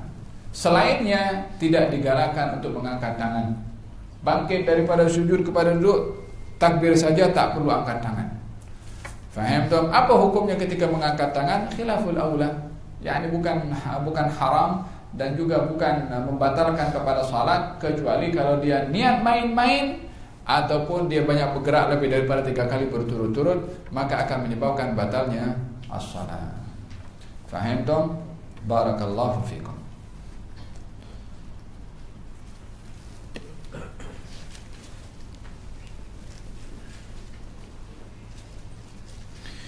Bagaimana ketika hendak sujud tiba-tiba ada aha, di depan tempat sujud kita. Kalau kita akan sujud lalu kemudian ada najis binatang di hadapan uh, apa? Uh, di hadapan uh, tempat sujud kita. Uh,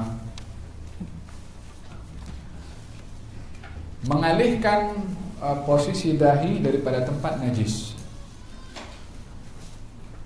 dan tidak mengalihkan najisnya kecuali kita meyakini agar supaya tak ada kesan daripada najis itu yang berpindah kepada kita punya tangan. Najis cicak contohnya. Nah, kita kata bilang kita sujud tempat yang tak kena, yang tak ada najis uh, cicak. Kalau tak ada tempat yang lain, kecuali memang di situ saja, maka dalam hal ini gunakan sesuatu untuk menjauhkan najis cicak daripada tempat sujud dan memastikan tak ada kesan di tempat tersebut daripada bekas najis uh, cicak. Hada berkenaan dengan masalah kalau adanya najis. Karena di antara hal-hal yang membatalkan uh, adalah hamlun najasa, membawa najis.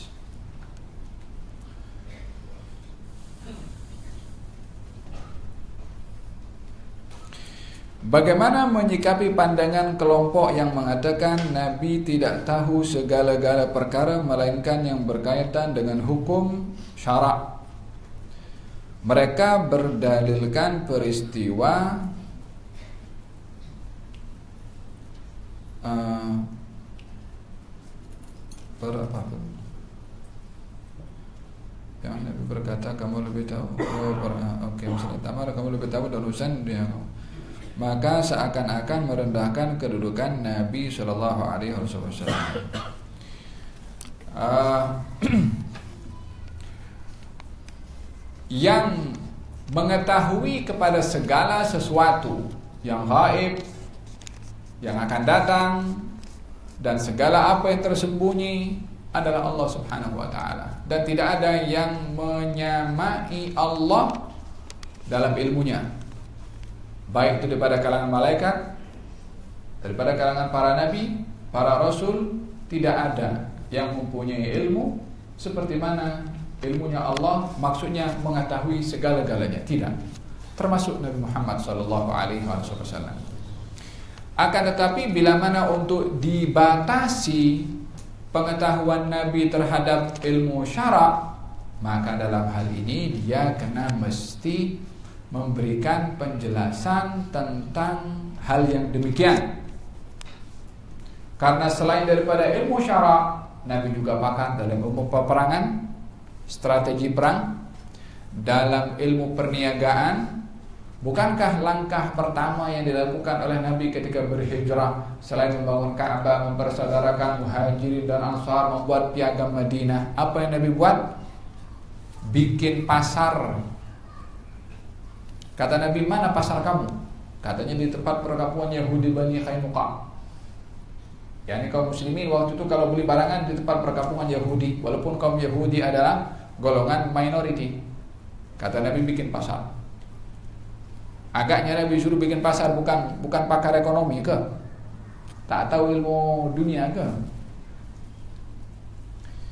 Kalau hanya dalam hal masalah apa namanya uh, korma atau uh, Nabi melarang apa itu apa namanya Allah apa itu huh? yang ambil daripada korma itu kemudian di, dikahwinkan dengan Hah? Hah? Kacung Palhasil itulah uh, uh, Ianya ketika Nabi mengatakan Kamu lebih mengetahui akan urusan dunia kamu Ya, ini dalam hal ini bukan Nabi memberitahukan uh, kamu lebih pandai daripada saya. Nah, hentom akan tetapi dilihat dalam hal ini mereka tahu. Dalam hal yang lain mereka tak tahu. Dan ketika Nabi mengatakan hal yang sedemikian adalah mimbabil mulatafah, yakni dalam hal macam satu uh, gurauan dan pujian kepada mereka para as-sahabah. Uh, faham dong? Nabi mengetahui strategi peperangan, Nabi mengetahui tentang uh, perniagaan, sehingga ketika berhijrah Nabi meminta untuk dibangunkan uh, pasar dan Nabi juga mengambil kira tentang hubungan diplomatik. Bukankah itu terkait dengan ilmu juga keduniaan kan ilmu uh, apa namanya ilmu dalam jurusan ilmu uh, political science ya. Nah, pun nah,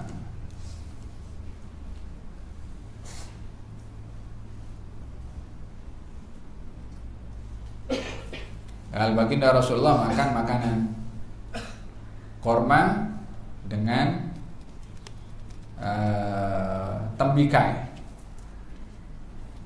Satu korma, tembikai. Korma, tembikai. Kata Nabi SAW, yang ini disejukkan dengan yang ini. Korma panas, tembikai sejuk panasnya korma kepada badan disejukkan dengan tembikai. Bukankah ini ilmu kesehatan? Nabi tak tahu ke urusan dunia tentang kesehatan.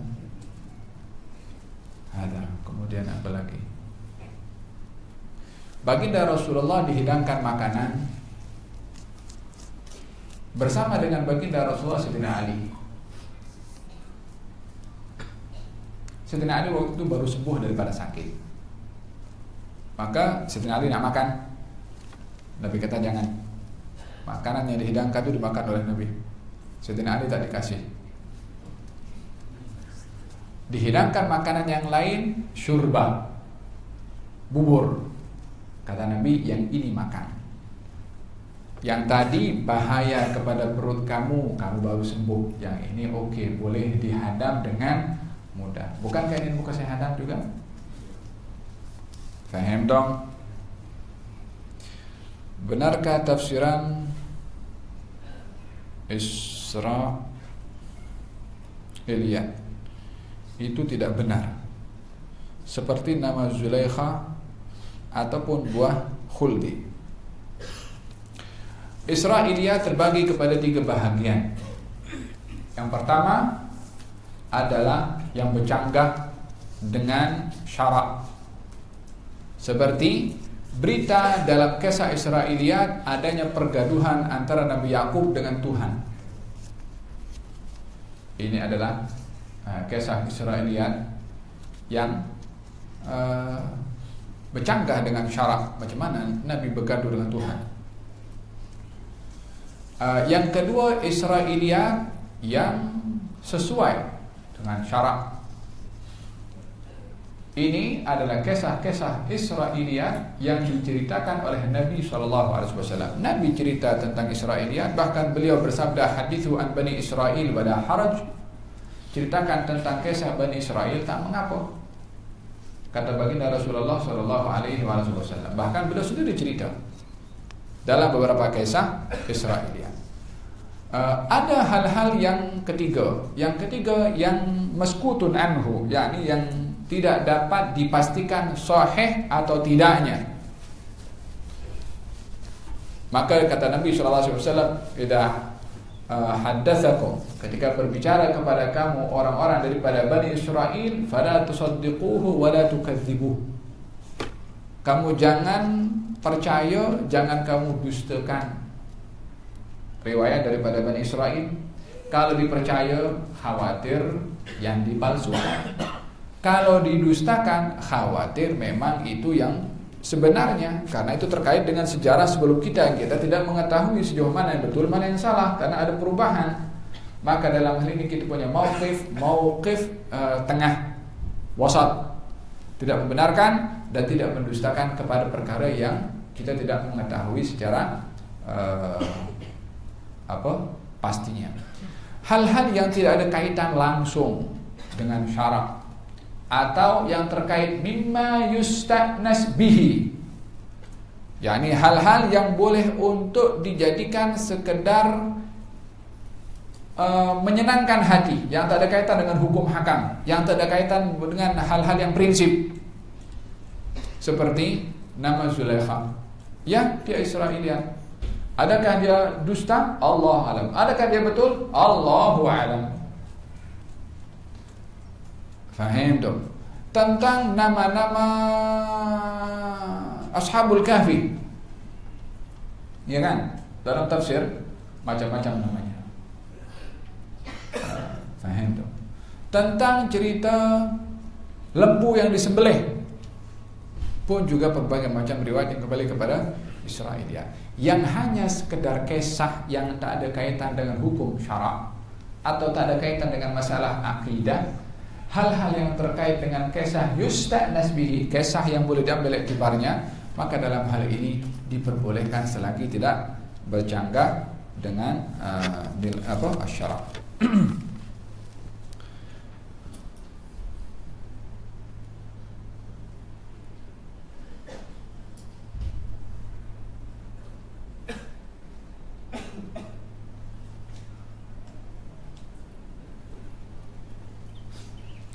Uh, berkenaan dengan kata-kata Imam Syafi'i tentang uh, tasawuf uh, merujuk kepada orang-orang yang mempraktis tentang tasawuf tanpa dasar ilmu. Tasawuf ini kena diiringkan dengan ilmu, tak boleh macam ada tasawuf tanpa ilmu. Eh, tasawuf itu pun dah ilmu Ah, man tafaqqaha wa lam yatasawwaf faqad tafassaq orang yang dia um, belajar fiqh tidak bertasawuf maka boleh membawa kepada kefasikan. Wa man tasawwafa wa lam yatafaqqah faqad tazandaq Orang yang bertasawuf tapi tak belajar fiqah boleh membawa kepada zindiq. Wa man tafaqqaha wa tasawwafa faqad tahaqqaq. Yang belajar fiqah dan bertasawuf maka itu yang betul-betul dia paham kepada ilmu. Dua, apa sebab fiqah tanpa tasawuf orang belajar ilmu zahir saja tak ada perhatian kepada hal dalaman. Bukankah baginda Rasulullah Wasallam menceritakan tentang golongan khawarij? Golongan khawarij. Kata Nabi, ini khawarij kalau baca Quran macam Quran baru diturunkan. Indahnya la jawis taraqihim, tapi tak masuk ke dalam, yakni tak ada sentuhan kepada hatinya. Salatnya salat, bacaan Qurannya bagus, perhatiannya kepada hukum eh, kepada salat-salat zahir iya tapi sentuhan dalaman tak ada. Ini orang belajar ilmu fiqah tapi tidak menghayati kepada ilmu tasawuf dalaman. Ini boleh membuat seperti khawarij tadi. Orang yang belajar tasawuf tanpa berfiqah macam orang yang dia nak bercakap tentang alam malakut tentang apa namanya nak sampai kepada tangga nomor 49 sementara dia merangkak lagi. Nak bercerita tentang ilmu apa namanya? ilmu hakikat wa illa apa namanya itu tentang makrifat. Walaupun itu ada, memang betul ada. Tapi tangganya kena diambil, belajar dulu ilmu yang fiqah tadi asasnya, rukunnya, adabnya, sunnahnya, up sikit Bukankah darjat daripada rukun agama itu start daripada Islam dulu, iman, kemudian ihsan. Jadi tiga-tiganya kena diambil, tak boleh nak ambil tasawuf bercakap tentang hal-hal yang bersifat alamul ulwi sementara dia tak tak lepas daripada babul istinja. Macam mana bercakap tentang hal yang sedemikian? Macam orang, bukankah ada golongan namanya kalau tempat dulu ada satu kawasan namanya kamp, bukan di sinilah uh, ada kampung namanya apa ada golongan namanya orang golongan golong, golongan orang-orang iling. Apa itu golongan orang iling? Orang yang dia mendalami tasawuf tapi silap. Macam tadi Syekh mengatakan belajar ilmu bukan daripada guru. Daripada mana? Allah ada mungkin dia khayal pikir macam mana pun ada pelajaran. Apa dia kata?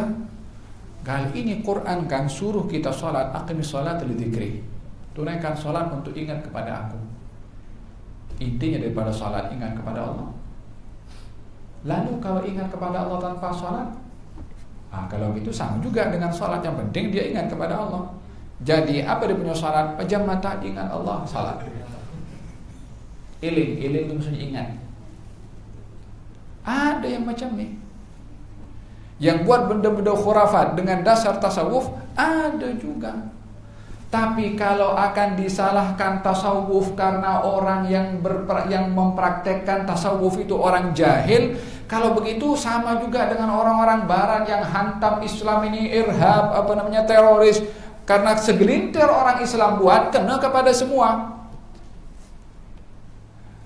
Jangan menghukum kepada satu aliran dengan perbuatan orang yang tak paham aliran itu.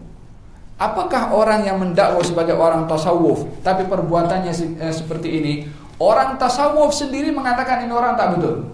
Ini orang sesat. Faham dong? Jadi uh, berkenaan dengan ilmu at-tasawuf uh, dilihat daripada prinsip ilmu tasawuf. Apa ilmu tasawuf? ilmu yang menyentuh tentang hati ilmu masalah kerohanian nak mengkaji kalau kita belajar syariah ilmu fiqah yang kita belajar hukum hakam rukun sunnah di dalam ibadah. Apa syarat salat apa rukun salat apa hukum zakat apa rukunnya apa patut patut dikeluarkan berapa dia punya kuantiti. Demikian haji macam mana nak pakai ihram dan seterusnya. Itu namanya ilmu fiqah ilmu syariah. Hukum uh, tentang ilmu akidah uh, tentang Allah Subhanahu wa taala, sifat wajibnya, sifat mustahilnya, sifat jaiznya, tentang malaikat, tentang para rasul, tentang kitab, maka ilmu itu namanya ilmu akidah. Ilmu tentang bagaimana ikhlas, bagaimana tawadhu, bagaimana zuhud, bagaimana penyakit-penyakit hati ria, sombong, ta'ajub, Itu semua ilmu yang membidangi ilmu itu namanya ilmu tasawuf. Tak mau ilmu tasawuf tak apa, ilmu hati. Tak mau ilmu hati, ilmu tazkiyah. Tak kisahlah apa saja namanya. Tapi kalau dia nak memang ini tasawuf tak betul. Otak awak yang tak betul paham tentang tasawuf sehingga disalahkan tasawuf. Cari pemahaman tentang tasawuf daripada orang-orang ahli tasawuf. Siapa ahli tasawuf? Imam Al-Ghazali. Siapa ahli tasawuf? Junaid ibn Muhammad. Jangan cari ilmu tasawuf daripada, Pak Tukirin yang kita tak tahu daripada siapa macam mana dia cakap tentang tasawuf.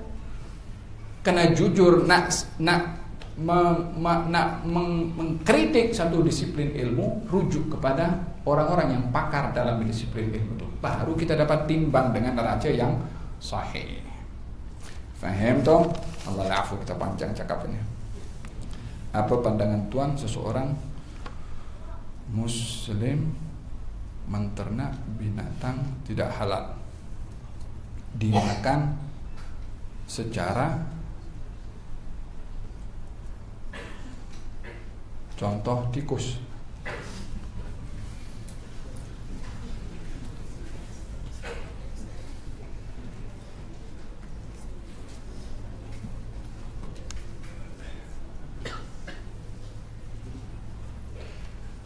Allahu alam.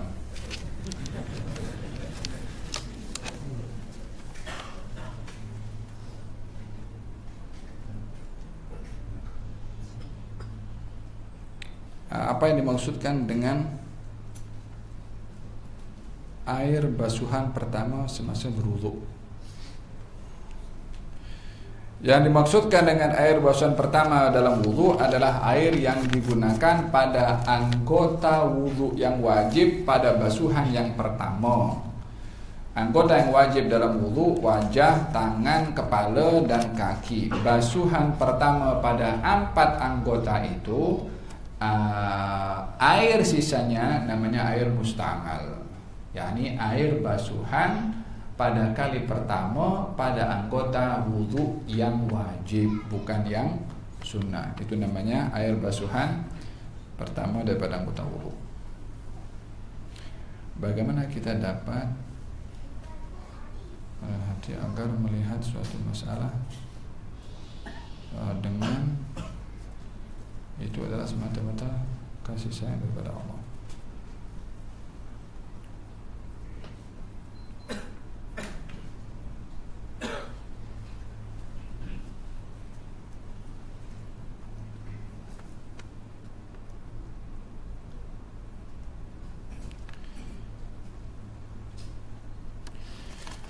Uh, di dalam kita menjaga hati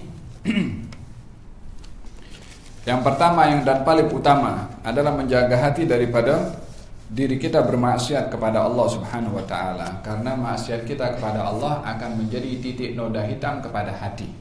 Yang dengan banyaknya maksiat akan banyaknya titik noda hitam dan dengan sebab titik noda hitam tadi boleh hati menjadi keras. Yang kedua, menjaga hati ini dengan zikrullah terutama adalah Al-Quranul Karim. Uh, dibaca dengan penuh penghayatan, baik zikirnya atau Qurannya, bukan hanya sekedar indah di mulut bertaranum, tetapi perlu ada penghayatan di dalam hati. Tidak akan dinampak kesan Quran yang jelas dan cepat, melainkan kalau Quran dibaca dengan penuh penghayatan. Kalau hanya sekedar di bibir sahaja tanpa ada penghayatan, uh, khawatir macam tadi itu orang baca Qurannya bagus tapi tak masuk ke dalam, maka tak ada kesan kepada Al-Quran tadi. Uh, perlunya membaca Al-Quran dengan uh, penghayatan. Oleh hal dalam Al-Quran Al-Karim perintahnya adalah untuk bertadabbur ketika membaca Al-Quran Al-Karim. Ada yang kedua. Yang ketiga, uh, untuk kita dapat uh, hati ini adalah uh, baik adalah dengan bertafakkur. Ibadatul fikri, ibadah dengan bertafakkur, bermuhasabah. Uh, ini bahagian daripada wasail untuk melembutkan uh, hati. Dan uh, melihat kepada orang-orang yang lemah, yang susah. Supaya terdetik dalam hati perasaan belas kasihan. Untuk dapat meluluhkan hati ini. Nah, ada yang keempat. Yang kelima, mujalasatus salihin. Duduk dengan orang-orang yang saleh akan menjadi sebab uh, lembutnya hati atau khusyuknya uh, hati. Ini beberapa hal yang terkait dengan kelembutan hati. Jika kita bertaubat tapi tidak melakukan sembahyang sunnah taubat, adakah termasuk taubat nasuha atau tidak? Taubat itu dimulai dengan penyesalan. Jadi kalau ada tiga perkara sah taubat seseorang. Alangkah baiknya kalau dilengkapkan dengan salat dua rakaat. Sebab anjurannya adalah melakukan salat dua rakaat dan uh, apa namanya bertaubat kepada Allah. Kalaupun tidak, bila mana tiga syarat ini dipenuhi, maka ia termasuk daripada syarat sah taubat. Yang pertama adalah an-nadam, menyesal. An-nadamu taubatun. Menyesal itu adalah taubat. Yang kedua, al-iqla' berhenti serta merta daripada dosa yang ia lakukan, maksiat yang ia lakukan. Yang ketiga, berazam untuk tidak melakukan dosa yang sama. Maka bila mana tiga perkara ini dilakukan, maka ia termasuk daripada uh, taubat. Yang keempat, bila mana terkait dengan orang lain, dosanya silapnya kepada orang lain, maka adalah dia memohon maaf atau mengembalikan hak orang uh, tadi atau meminta halal daripada orang yang dia uh, dosa kepadanya. Maka dengan demikian dia termasuk uh, orang yang sudah bertaubat. Adapun melakukan dengan sholat dua rakaat adalah lebih sempurna.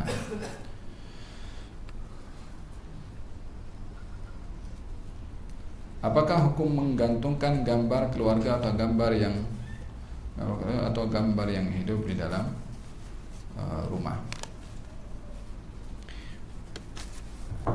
Kalau itu gambar-gambar yang apa namanya yang macam foto uh, diletakkan di rumah, hukumnya adalah harus bukan perkara yang haram Uh, hanya saja kalau gambar keluarga yang tak pakai tudung jangan letakkan dengan ruang tamu. Semua orang boleh uh, nampak letakkan dalam bilik tempat yang privacy uh, yang hanya boleh dilihat oleh keluarga sendiri. Uh, itu uh, diletakkan di dalam. Kalau diletakkan di ruang tamu gambar-gambar uh, siapa namanya? Entah gambar uh, uh, orang yang mulia ulama atau ustadz atau uh, apa namanya biasanya gambar-gambar uh, siapa namanya orang-orang kenamaan di uh, maka dalam hal ini selagi gambar itu gambar uh, tidak ada apa itu uh, wujudnya macam bentuk rasem atau uh, lukisan uh, maka hanya sekedar gambar uh, foto uh, tidak mengapa. Hanya elakkan daripada gambar-gambar yang uh, apa ada tak menutup aurat ada diletakkan di dalam.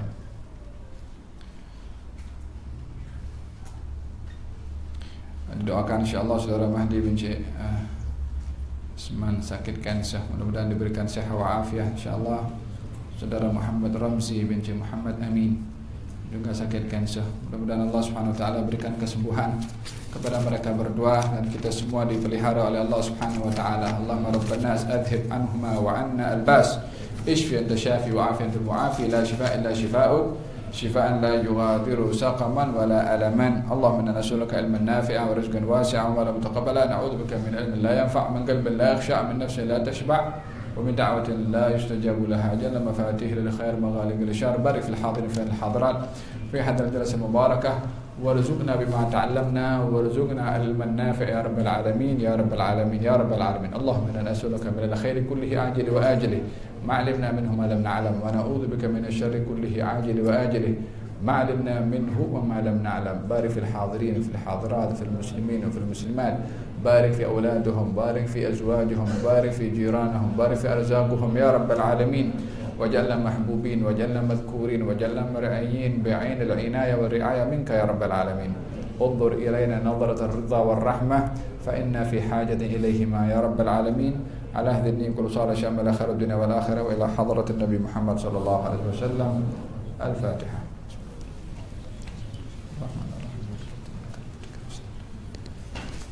صراط المستقيم صراط الذين غير المغلوب عليهم ولا الضالين يا ربنا تقبل منا إنك أنت السميع العليم. تب علينا إنك أنت التواب الرحيم. دعواهم فيها سبحانك اللهم وتحمد فيها سلام. وآخر دعواهم الحمد لله رب العالمين. تقبل الله منكم.